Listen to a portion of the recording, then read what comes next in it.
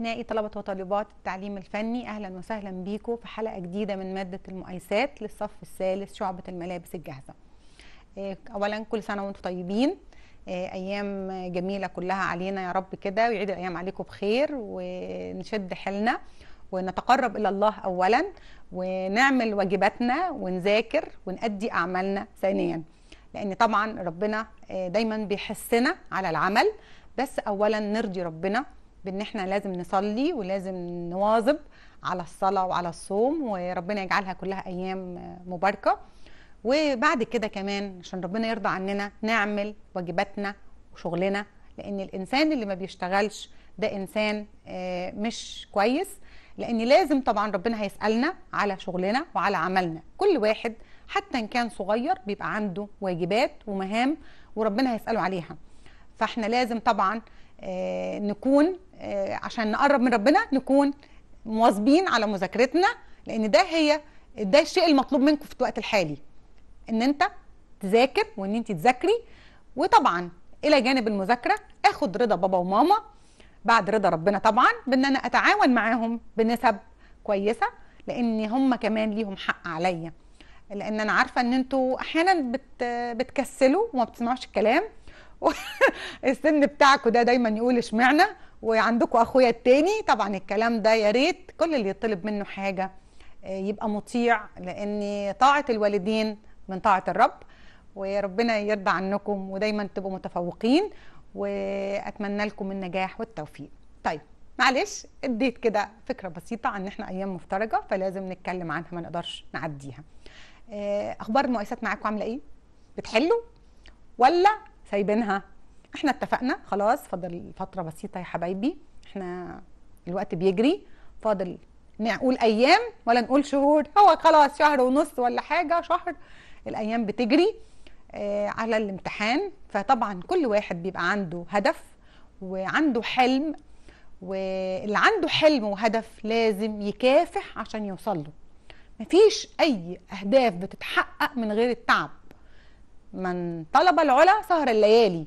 أنا عايز أوصل لنجاح لازم أتعب لازم أذاكر. أنا عايز أوصل لكلية لا المذاكرة تبقى باجتهاد مش مذاكرة وبس. لا ده أنا عايز آخد الشهادة علشان أشتغل وأبدأ أصرف على أسرتي لأي ظرف من الظروف. يبقى أنا برضو محتاج إن أنا أكافح وأتعب وأشتغل بأمانة. طيب المقايسات لو أنا سبتها بنساها. بتنسوها. أنا عارفة كده لأن أنتوا طبعا ما بتدوهاش الوقت الكافي إلى جانب باقي المواد اللي عندكم. فطبعا أنا لازم يوميا أعمل لنفسي جدول وأدي كل مادة جزء من الوقت. طبعا مش شرط إن أنا كل يوم بذاكر كل المواد.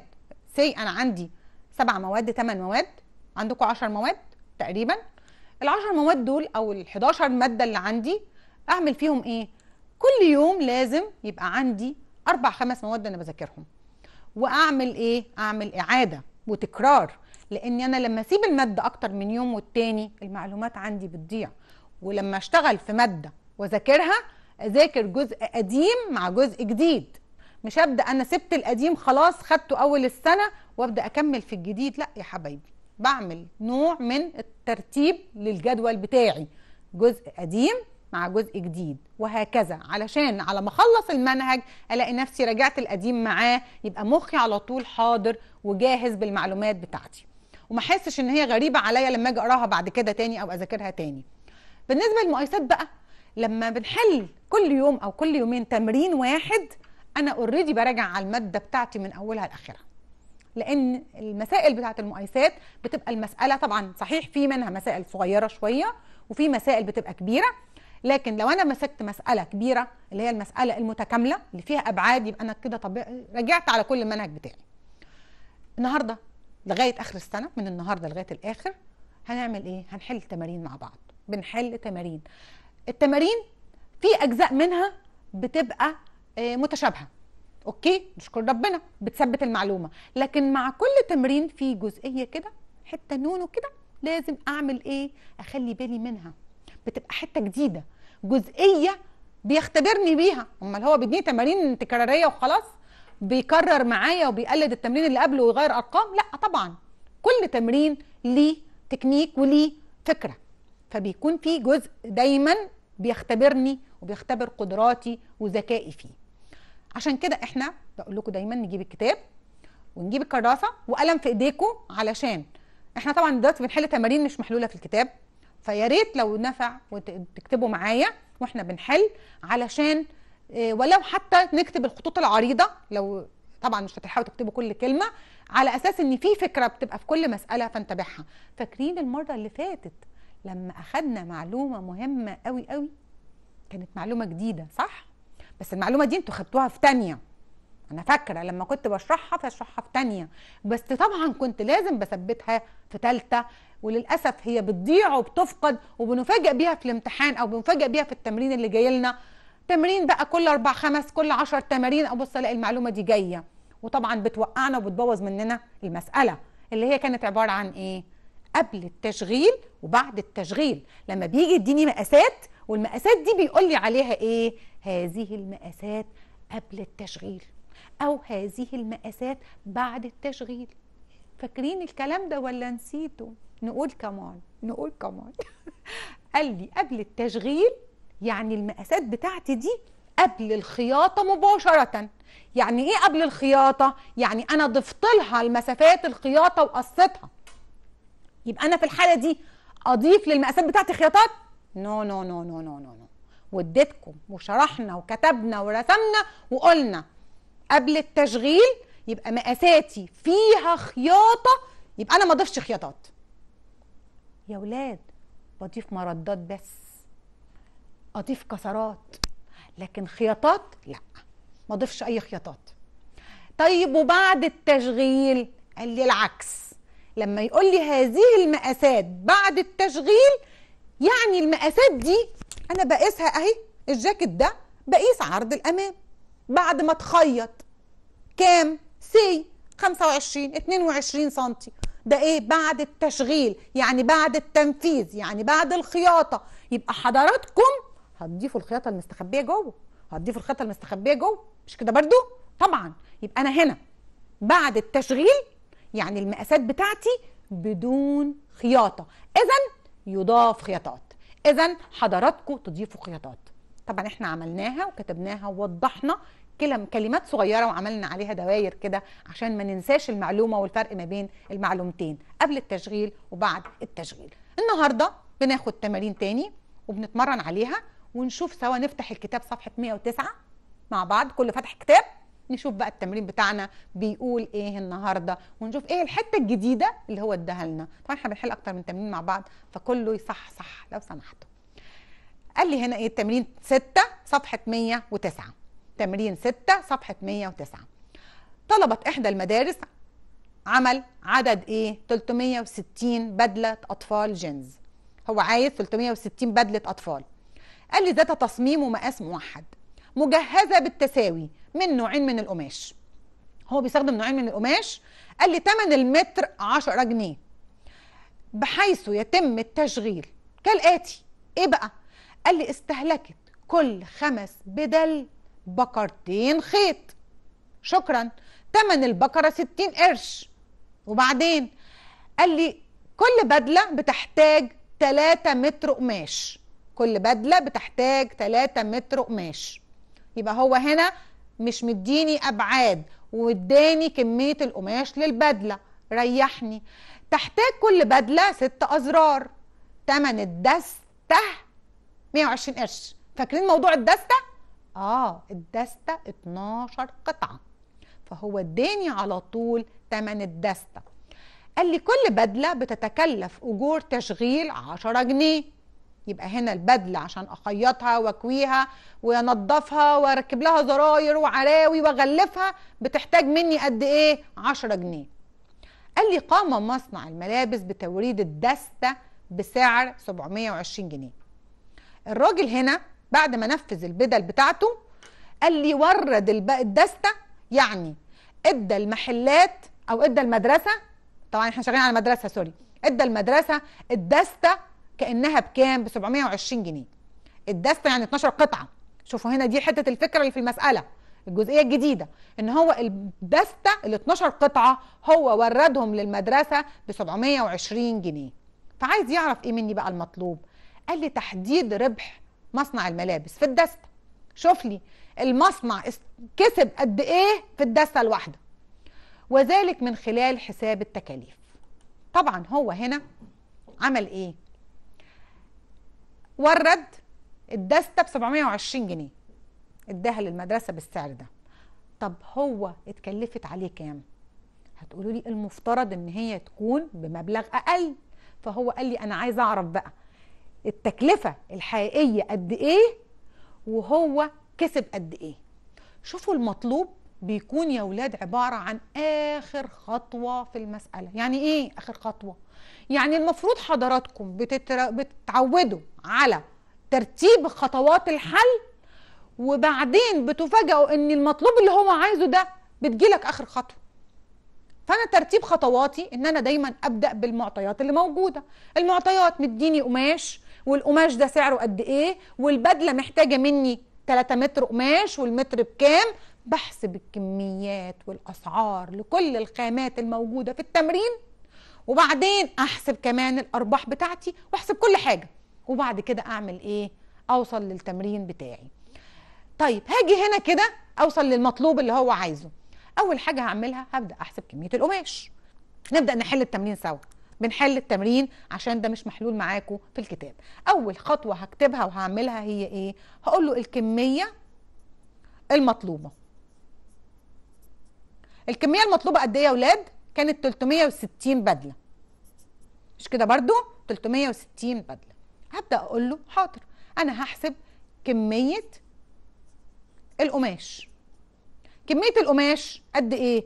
هم 360 بدلة البدلة الواحدة محتاجة مني 3 متر. فأنا هضرب ال 360 بدلة في 3 متر بيطلع لي 1080 متر. بعد كده قال لي متر القماش بكام؟ قال لي متر القماش ب 10 جنيه. فهقول له تمن القماش. هاخد ال 1080 أضربها في 10 جنيه. هيطلع معايا 10800 جنيه. ودي إيه دي دي؟ دي فلوس.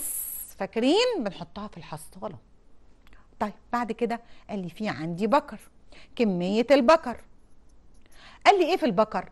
قال لي كل كل كام؟ كل خمس بدل بيحتاجوا مني بكرتين. كل. هم 360 بدلة. قال لي كل خمسة. يبقى أنا هقسم على الخمسة. بيحتاجوا إيه؟ بكرة بضرب في واحد. قال لي لا المرة دي بيحتاجوا بكرتين. فأنا بضرب في اتنين. يبقى أنا هنا عندي. المرة دي في. في البكر. قال لي كل خمس بدل بيحتاجوا بكرتين. بيطلع معايا كمية البكر 144 بكرة. البكرة الواحدة بقد إيه؟ قال لي البكرة ب 60 قرش. فهقول له ثمن البكر. هم 144 بكرة. البكرة ب 60 قرش. فاكرين الموضوع؟ ليه أنا بضغط على القرش ده؟ علشان لازم أقسمه على 100 عشان أحوله للجنيه. ما ينفعش أتعامل بقروش وجنيهات.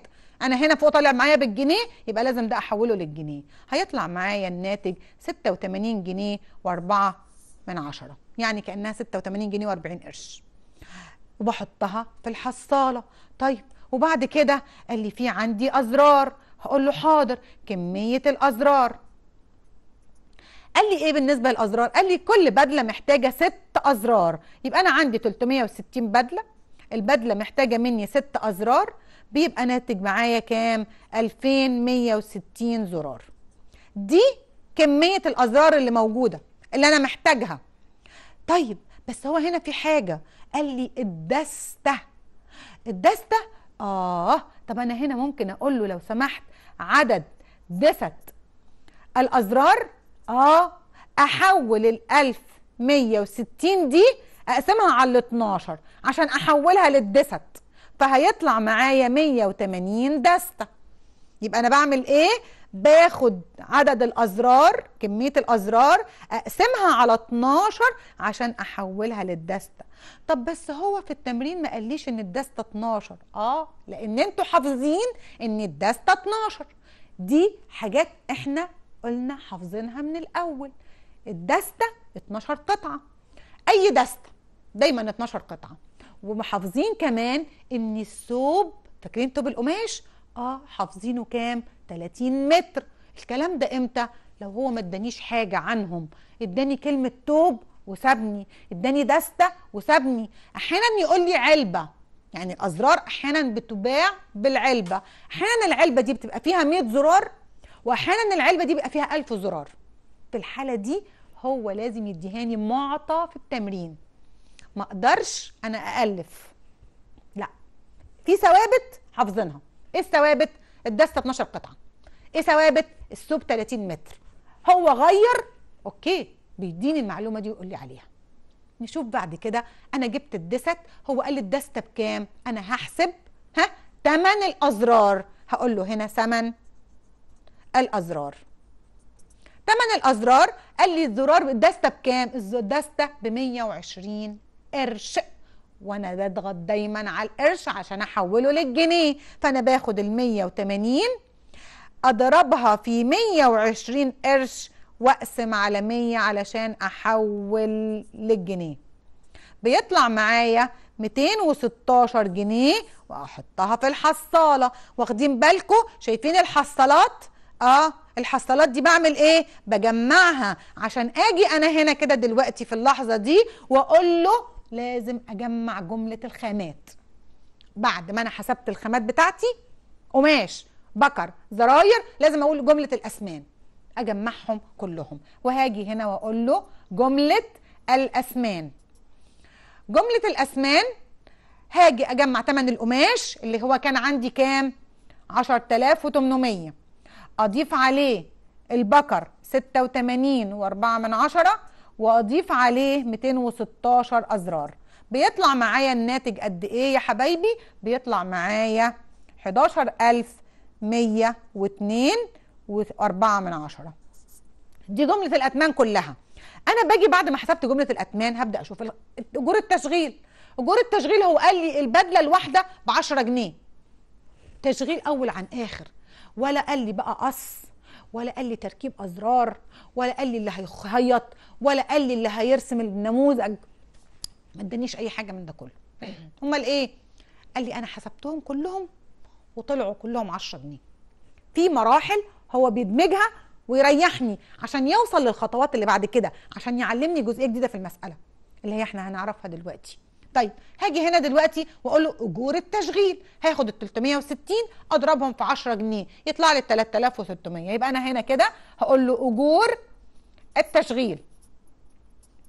كام؟ قال لي أجور التشغيل اللي هم 360 بدلة والبدلة الواحدة بتكلفني 10 جنيه.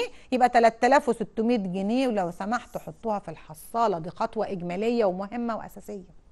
طيب دلوقتي أجمع؟ آه هجمع، هجمع إيه بقى؟ هقول له أنا جيت كده هقول جملة التكاليف.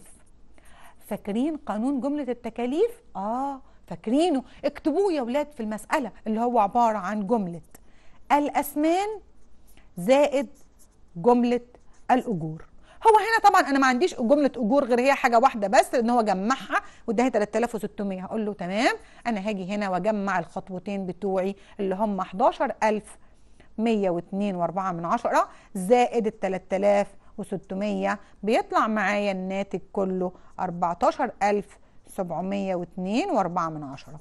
دي جملة التكاليف. طب هو هنا عمل إيه؟ قال لي أنا كده لما حسبت التكاليف دي كلها عايز أعرف الراجل كسب كام. هقول له حاضر. الراجل كسب كام إزاي؟ أجيب له تكلفة البدله تكلفة البدله تكلفة البدلة فين؟ في المصنع. قد إيه؟ قال لي هاخد ال 14702 دي أقسمها على ال 360 فيطلع لي تكلفة البدلة الفعلية التكلفة الحقيقية للخامات كلفتني قد إيه البدلة الواحدة؟ كلفتني 40 جنيه و84 قرش. البدلة كلفتني 40 جنيه و84 قرش. طيب لو هي بالدستة يبقى أنا في الحالة دي هو عاوز يعرف الربح في الدستة. الدستة فيها مكسب قد إيه؟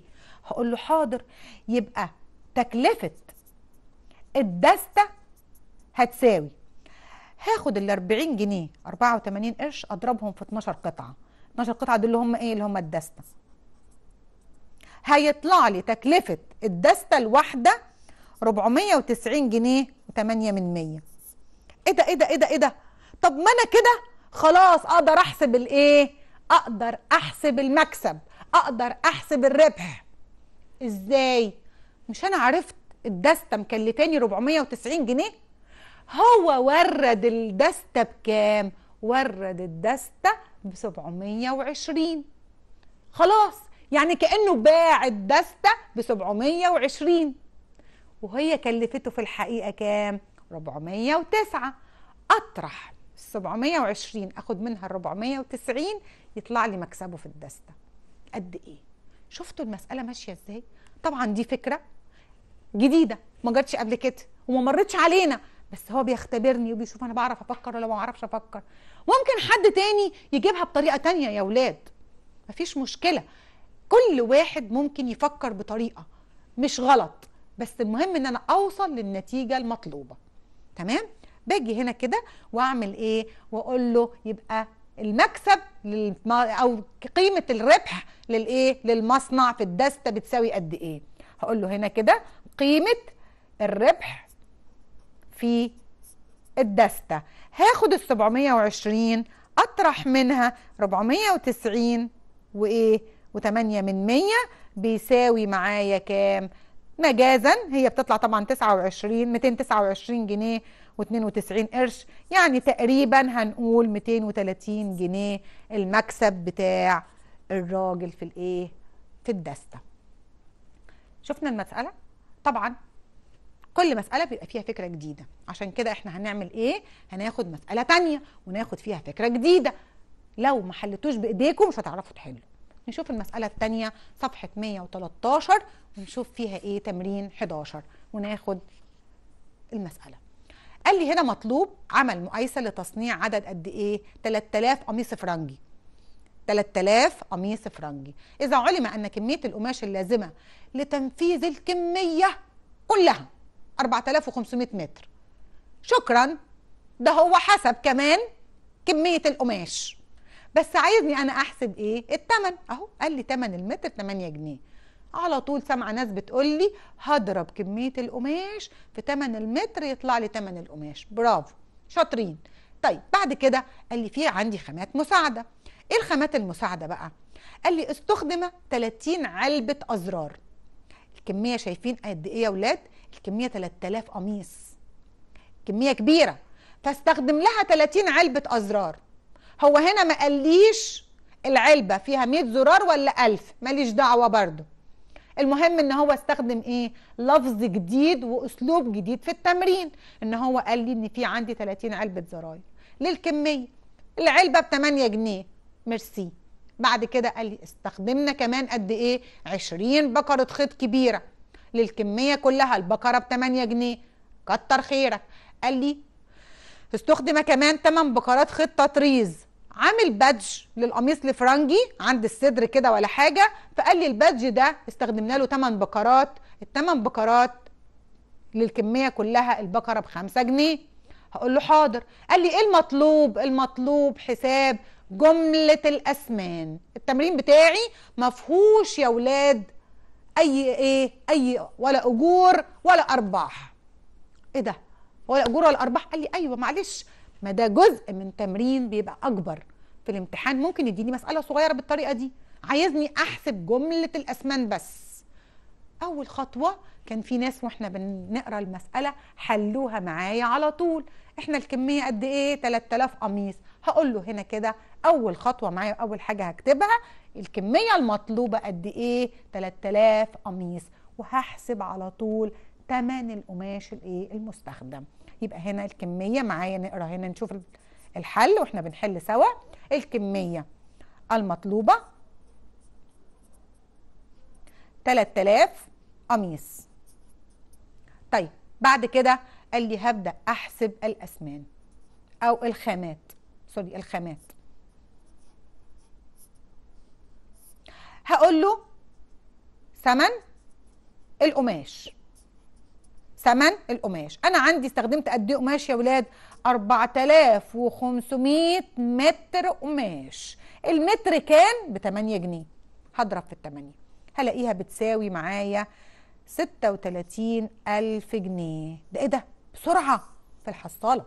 دي فلوس مش بتاعتنا.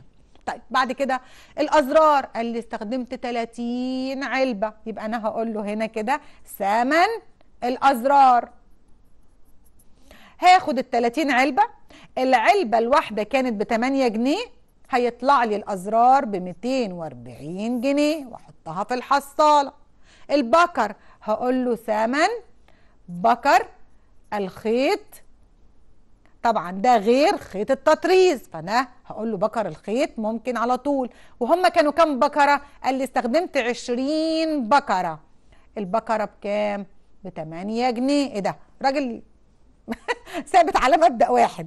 قال لي إيه؟ هيطلع لي معايا 160 جنيه وأحطها برضو في الحصالة.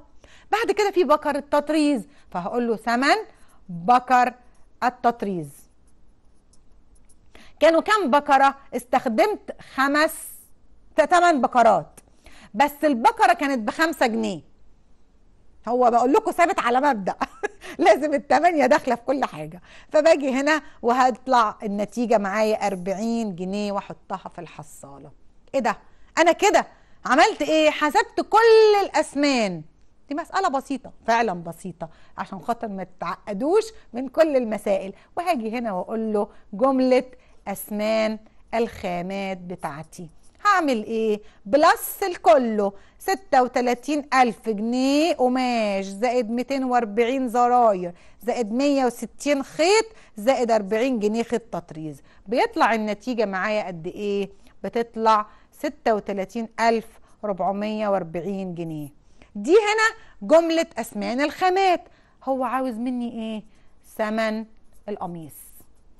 هاخد ال 36440 أقسمها على 3000 قميص هيطلع معايا القميص الواحد ب 12 جنيه و15 قرش شفتوا المسألة؟ مالها؟ بسيطة جدا صح؟ دي بتبقى عبارة عن جزء من مسألة بس هو هنا استخدم معايا ألفاظ جديدة فكان لازم نمر عليها عشان ما نقولش إيه موضوع العلب وإيه موضوع الكميات الكبيرة اللي هو مديهاني فهو هنا ده نمط من ضمن الأنماط ممكن لما تبقى المسألة كبيرة قوي وفيها أبعاد وفيها أجور أحيانا يجي هنا يسهل علينا جزئية ويوفر علينا بعض الخطوات عشان ما تبقاش المسألة ضخمة زيادة عن اللزوم. نشوف تمرين كمان؟ نشوف تمرين كمان. اقعد ازهق.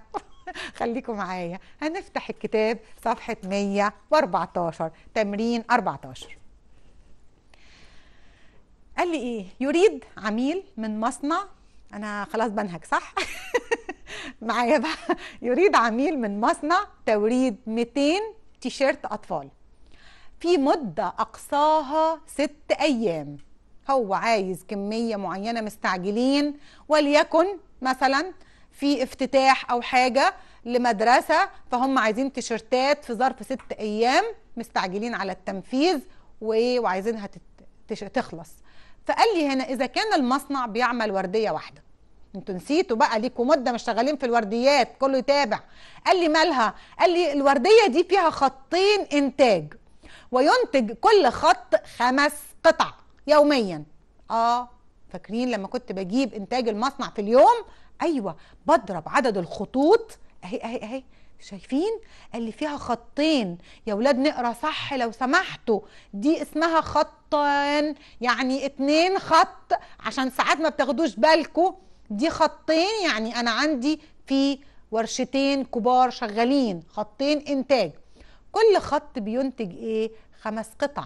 إنتاج المصنع في اليوم هضرب الاتنين في الخمسة بيطلع لي العشرة. فأنا بعرف إنتاج المصنع إيه ده؟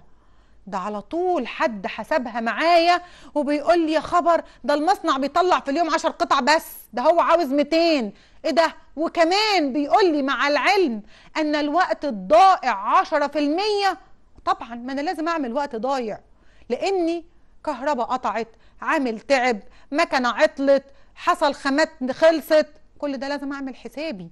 فقال لي في عندي كمان أعطال الوقت الضائع 10% هل يمكن إن المصنع يقبل الطلبية دي ولا يرفضها؟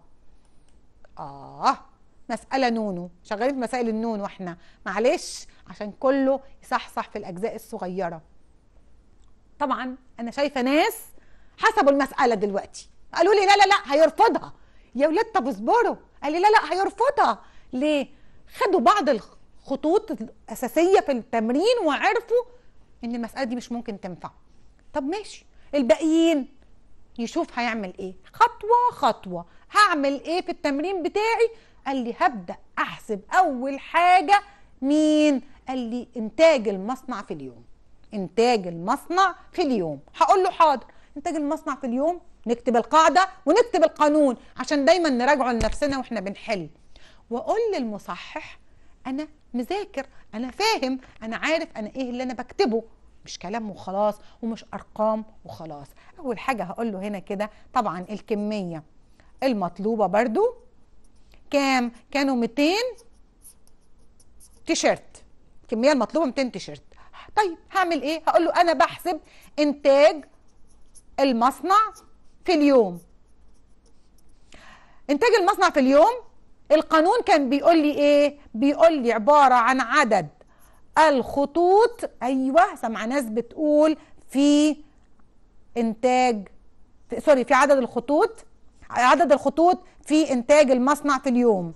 في إنتاج المصنع في الخط الواحد. في الخط الواحد.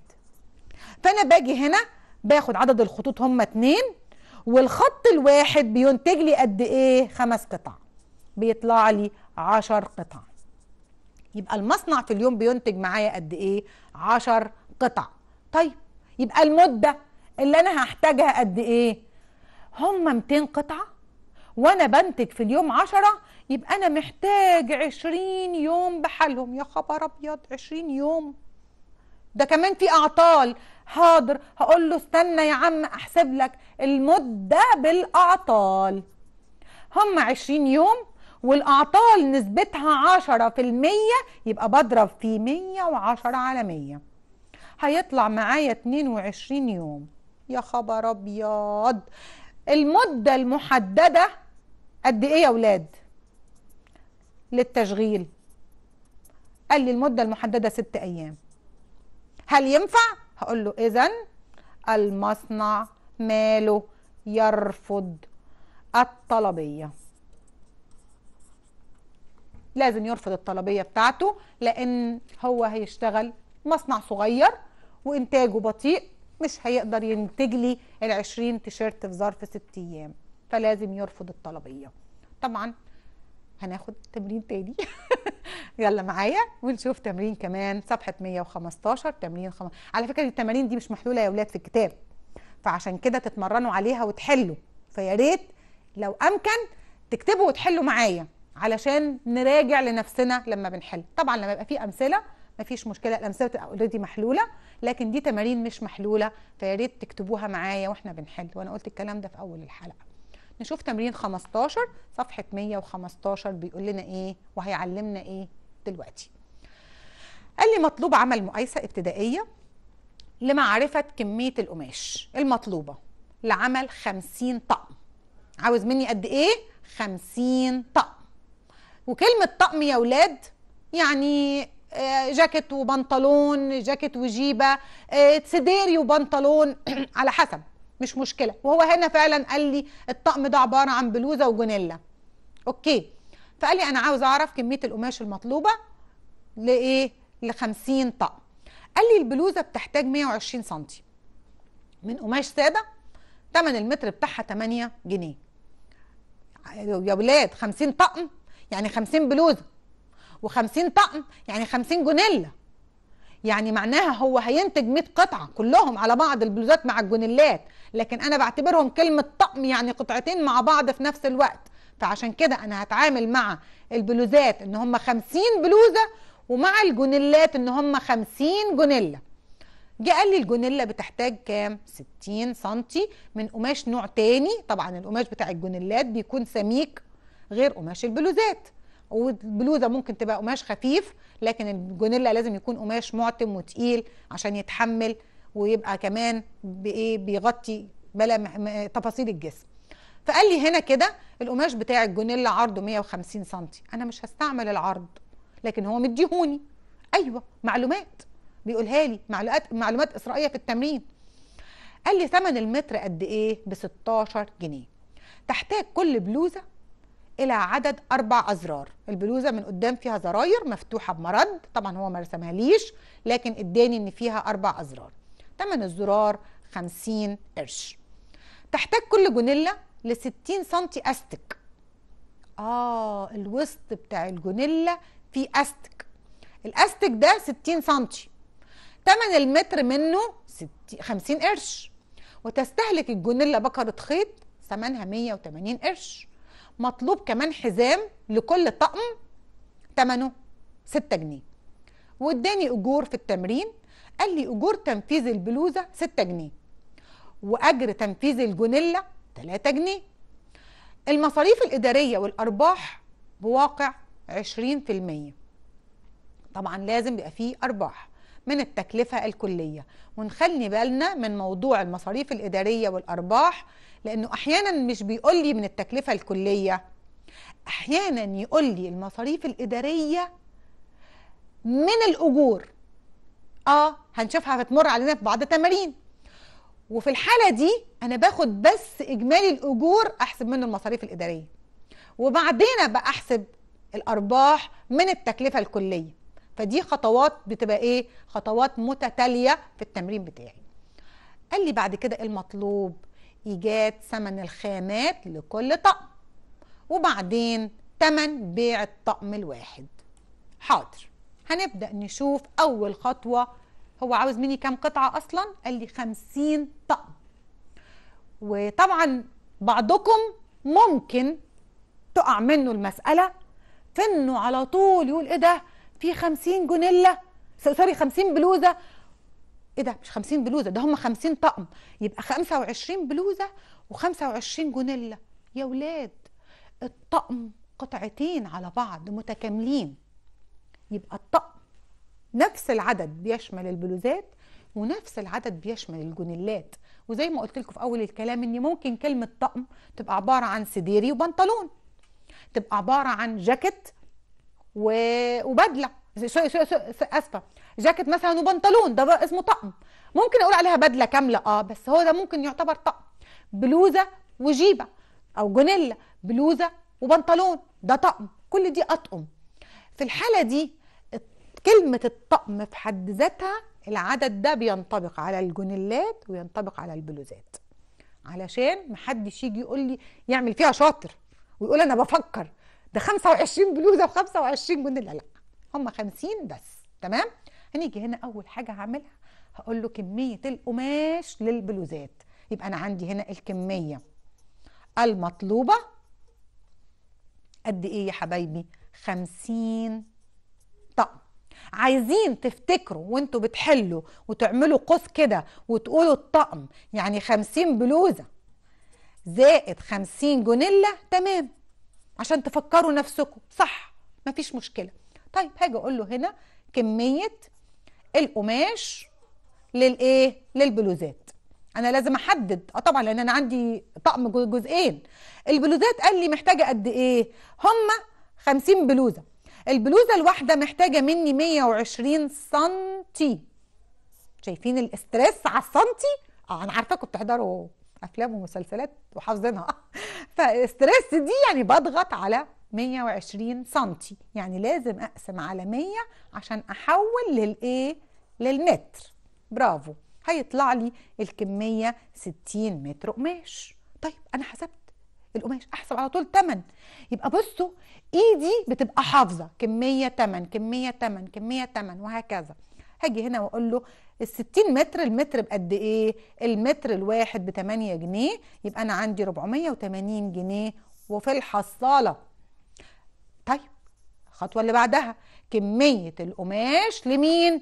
للجونيلات. هم 50 طقم. الجونيلا الواحدة محتاجة مني 60 سنتي على 100 هقول سنتي؟ سنتي. عشان أقسم على 100 عشان أحول للمتر هيبقى أنا محتاج 30 متر قماش. على طول تمن القماش. 30 متر. المتر بقد إيه؟ قال لي المتر الواحد ب 16 جنيه. هيبقى عندي كمية ثمن القماش 480 جنيه. في الحصالة. الزراير. قال لي في كمية الأزرار.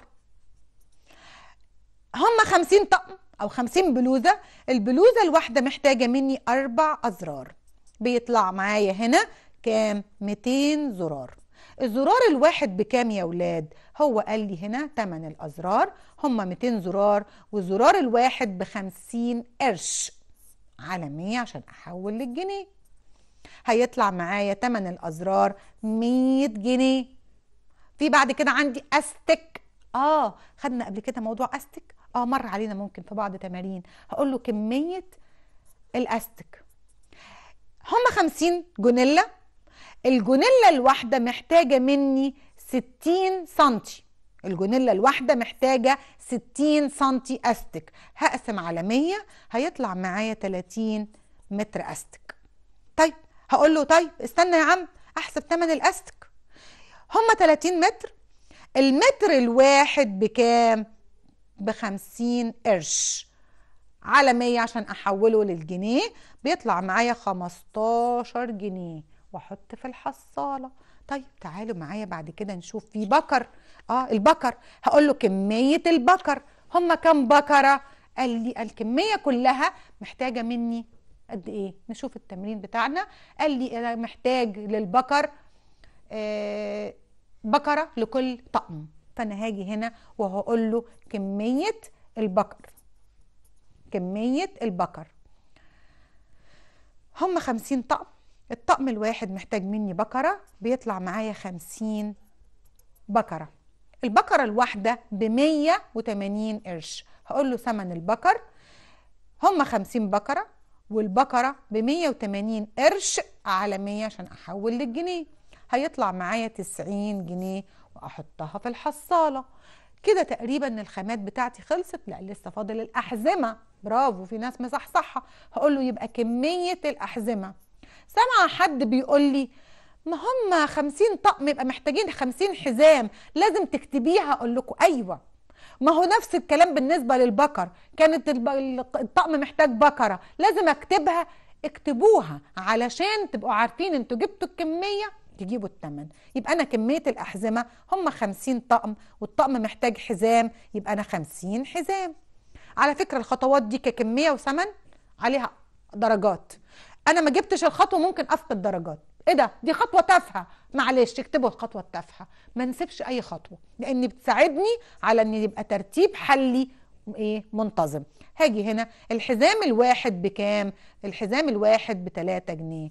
هيديني 150 جنيه وأحطها في الحصالة. كل دي الخامات اللي أنا استخدمتها. هقول له استنى جملة الاسمان هبدأ أجمع.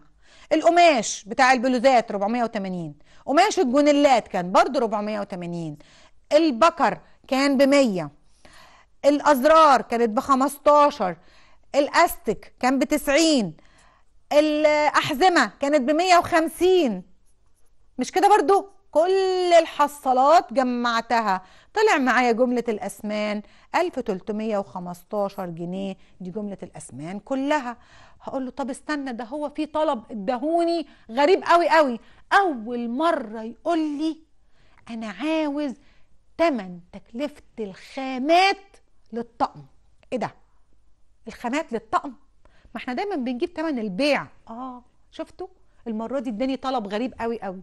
بس طلب بسيط. لو إحنا بنقرأ المسألة صح هنلاقي إن الطلب بتاعنا مش صعب. بيقول لي عاوز إيه؟ تمن تكلفة الخامات للطقم. يعني معناها الطقم بتاعك ده كلفني كام؟ اشتريت له خامات بقد إيه؟ وبعدين المطلوب التاني كان تمن بيعه. بس بعد ما احسب له الأجور اوعوا تنسوا. إيه ده؟ ما أنا مش عرفت كده جملة الاثمان قد إيه؟ أقسمها على القطع بتاعتي ال50 طقم هيطلع تكلفة الخامات. يا بالبساطة دي بالبساطة دي. تعالوا نكتب الخطوة بتاعتنا عشان ده خطوة مطلوبة أساسية اللي هي إيه؟ قال لي تكلفة الخامات للطقم. هاخد ال 1315 أقسمها على ال 50 طقم بتوعي بيطلع معايا 26 جنيه و3 من عشرة. دي تكلفة الخامات للطقم الواحد. بعد كده قال لي بعد كده هبدأ أدخل على الأجور.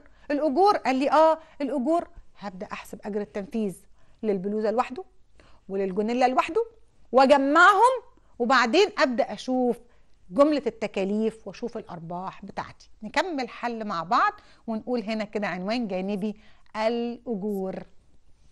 هاجي هنا وأقول له أجر تنفيذ البلوزات. البلوزات هم 50 بلوزة. والبلوزة الواحدة تنفيذها بكام؟ ب 6 جنيه.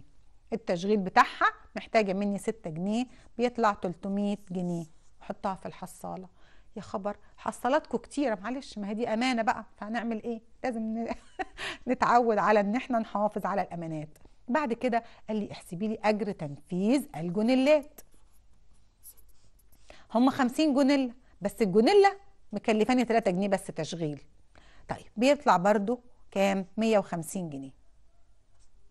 واحطها في الحصالة. هجمع الأجور دي وأقول له جملة الأجور. هاخد ال 300 plus ال 150 بيطلع معايا الناتج كام؟ equal 450 جنيه. طيب قال لي في عندي المفروض أحسب إيه؟ أحسب جملة التكاليف.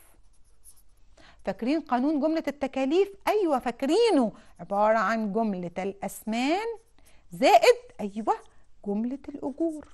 نكتب القانون نفكر نفسنا على طول. جملة الأتمان كانت كام يا حبايبي؟ حد فاكر؟ أيوة ناس سامعاها بتقول لي كام؟ 1315 والأجور كانت 450 جنيه. بجمعهم مع بعض بيطلع 1765 جنيه. دي جملة التكاليف كلها. قال لي طيب استنوا ده أنا في عندي أرباح بقيمة 120% 20% هقول له حاضر يبقى جملة التكاليف بالأرباح والمصاريف. هاخد ال 1765 أضربها في الأرباح كانت كام؟ 20% يبقى أنا هضرب في 120 على 100 هلاقيها بتساوي 2118 جنيه. إيه ده؟ ده التكلفة الكلية دي التكلفة الكلية. طب ما هو الراجل طلب مني تمن بيع الطقم. هقول له الخطوة الأخيرة. تمن بيع الطقم. أنا كلفت بالأرباح بكل الشغل بتاعي 2118 هاخد ال 2118 أقسمها على 50 يطلع لي 42 جنيه 36 قرش. دي تكلفة إيه؟ الخمس الطقم الواحد من الإيه؟ من التمرين بتاعي. طبعا تعبتوا؟ إيه رأيكم في المسائل؟ مستهيألي مش صعبة صح؟ اللي هيتمرن وهيحل هيلاقي التمارين بتاعته لذيذة وحلوة وجميلة. عشان كده لو سمحتوا لازم نحل نحل نحل. أنا عايزة لو أمكن وينفع على اليوتيوب تبعتوا لي جداولكم. لو في تمرين وقف معاكم آه، أي حاجة مش عارفين تحلوها ابعتوها لي. وأنا هتابع معاكم وممكن تقريبا في آه، تواصل في حل حل لكم اللي أنتوا عايزينه. لو في فكرة معينة لو في فكرة معينة أنا ممكن آه، إن أنا أقولها لكم ونحلها سوا مع بعض. بحيث إن إحنا لو في حاجة مش عارفينها نتابعها مع بعض. هنشوف تمرين تاني جديد ونقراه سوا ونشوف إيه الفكرة اللي فيه. تمرين صفحة 118 آه اللي هو تمرين 19 قال لي طلب عميل من أحد المصانع تصنيع 900 قميص رجالي من ثلاث ألوان. التمرين ده كبير شوية ربنا يسهل والوقت يسعفنا. قال لي هنا مطلوب مني 900 قميص من ثلاث ألوان بكميات متساوية. يا ولاد كلمة كميات متساوية يعني أنا هقسم التسعمية على التلاتة بالتساوي. آه بابا بيعدل ما بينكم. أنتوا تلات إخوات بيعمل إيه؟ بيديكم أنتوا التلاتة قد بعض. بيقسم مثلا وليكن معاه 150 جنيه هيقسمها بالنسبة لكم أنتوا التلاتة مع بعض. يبقى كل واحد هياخد إيه؟ 50 جنيه. بالعدل. هو ده. هنا نفس الكلام بالنسبة للتمرين بتاعنا. هو كان بيقول لي 900 قميص ال 900 دول هيتقسموا على الثلاث ألوان بالتساوي. قال لي وجد بالمخزن كمية من القماش. المصنع فيه عنده شوية قماش موجودين. فهو هيعمل القمصان دي من لون أبيض ولون بني ولون موف. القمصان المطلوب الالوان بتاعته. فقال لي أنا موجود عندي في المصنع من اللون الأبيض 750 متر ومن اللون البني في موجود عندي 450 متر ومن اللون الموف موجود عندي 250 متر. إيه اللي عايزه أنت مني بقى في التمرين؟ قال لي بص يحتاج كل قميص مترين ونص من القماش والمتر بتاعه ب 14 جنيه. وقال لي كمان إنه يحتاج كل قميص ربع متر قماش لاصق. يا ولاد القماش اللاصق اللي هو الفازلين الحشو اللي إحنا بنستخدمه فين؟ في تقوية الأكوال وتقوية الأساور. لو القميص بتاعنا فيه أسورة أو فيه كولا وأحيانا المرد وأحيانا الجيب كل الأجزاء دي إحنا بنعمل لها تقوية علشان بيبقى عليها ضغط واستخدام وتبقى واخدة شكل كويس. فأنا بعمل لها تقوية. فقال لي القميص الواحد محتاج ربع متر من القماش اللاصق اللي هو الحشو اللي هو الفازلين. تحتاج كل خمس قمصان بكرة خيط. البكرة ب 3 جنيه. المصنع بيعمل بيحسب أجر كامل على كل قميص 10 جنيه. زي ما قال لي في التمرين اللي فات برضو إن التشغيل للقطعة الواحدة ب 10 جنيه. فقال لي هنا بضيف كمان نسبة ربح للكمية كلها 20% طيب من جملة التكاليف. قال لي إيه المطلوب؟ حساب كمية القماش الغير موجودة بالمخزن. إيه ده؟ اللي غير موجودة طب ما هو قال لي في عندي 750 متر من القماش الأبيض وفي 450 متر من القماش البني وفي 250 متر من القماش الموف. طب هو أنا أصلا عاوز قد إيه من الكميات دي؟ ما أنا ده لازم أعمله ولازم أحسبه. طبعا بداية التمرين بتاعي إن أنا هاخد ال 900 قميص أقسمهم على الثلاثه فيطلع لي كل لون محتاج 300 إيه؟ كل لون محتاج مني 300 قميص. بصوا التمرين ده عايزاكم تفكروا فيه. وهحله بس المرة الجاية عشان النهارده وقتنا خلص. هتفكروا فيه وهتحلوه وأنا بشرح التمرين وبحله معاكم المرة الجاية هتصححوا لنفسكم وتشوفوا أنتوا فهمتوا اللي إحنا بنحله قبل كده ولا لأ وانتوا فكرتوا إزاي في حل التمرين. هقول لكم باي باي هتوحشوني وإلى اللقاء. وكل سنة وأنتم طيبين وأيام مفترجة. أشوفكم على خير.